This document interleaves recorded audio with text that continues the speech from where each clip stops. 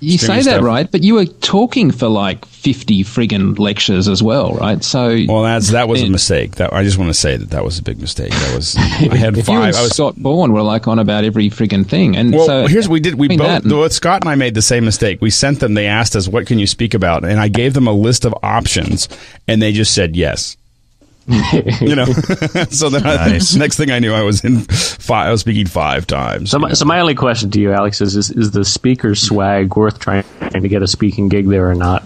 Um, not really. I mean, the the reason that I the, the speaker swag. I mean, we had we got a good Cotta bag the last time. This one was a little too small. Um, the main thing is you get a you get a conference pass, which means that you can kind of you know you can go to anything that you want to. But then of course you never have time to actually see anybody else's stuff.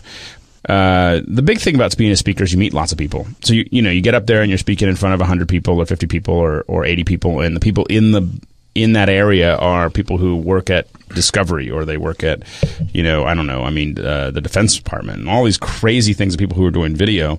And they come up at the end and they want to talk to you about other things or you get emails later. And, and it just kind of helps you create that network. It's a much more like when, when it comes to finding cool people, you get up there and you talk about what you know a lot about or something that you're passionate about and you find other people that are kind of in a similar vein. And it might be two or three people out of, um, uh, you know, out of hundreds uh, that you might speak in front of, but uh, they, a lot of times, those things end up to be interesting down the road.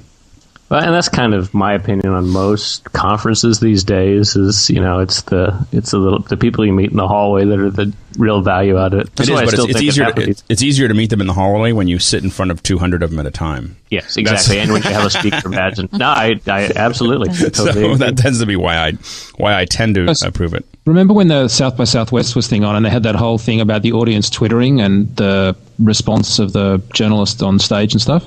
Right. So I'm sitting at Stu and Alex's super session, but here am I twittering in the audience, right? Yeah. Just, you know, blogging it in real time effectively. And it suddenly dawned on me that everything that I was saying was going to be read by Alex and Stuart guys as soon as they got off stage. And I'm like close friends with three of these guys. And I'm like, hang on a second. Yeah.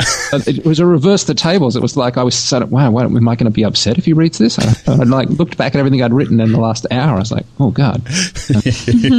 yeah. No, I was, I was pretty upset about the whole thing. You know, I was, uh,